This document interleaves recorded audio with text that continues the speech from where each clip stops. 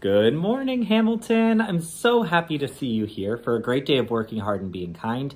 Today is May 5th, and it's a Friday, and we're going to have a great day.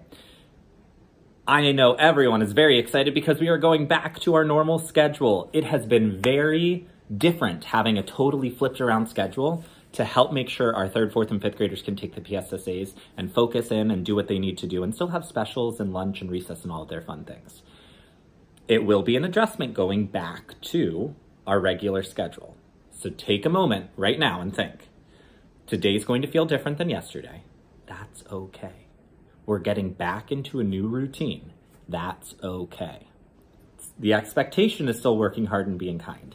I know the schedule might have changed, but it doesn't mean our expectation has changed. I still expect you to be listening to grown-ups, doing your work, respecting each other, having a great day, okay?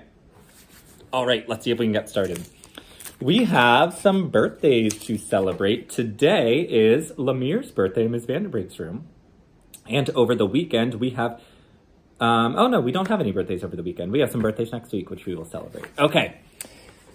Reminder that our variety show auditions are coming up. If you want to be in the variety show, you have to get a permission slip. You have to audition. They are after school on May 16th. Next week, we are doing our virtual escape room. It's back again. I know that that's always a fan favorite, getting to take our iPads home and do the escape room on Seesaw.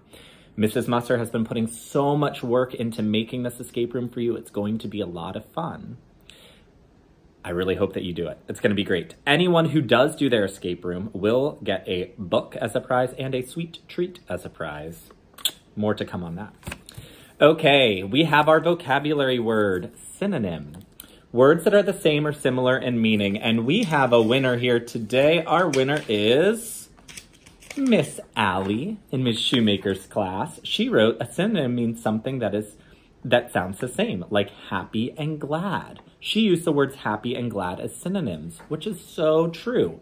Excellent work, Allie. I'll make sure Ms. Musser gets you a prize today or on Monday.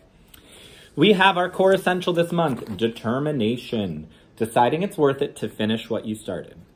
Friends did that with PSSAs. They showed determination.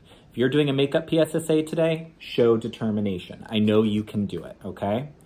Also, third, fourth, and fifth grade students, we have our PSSA reward today.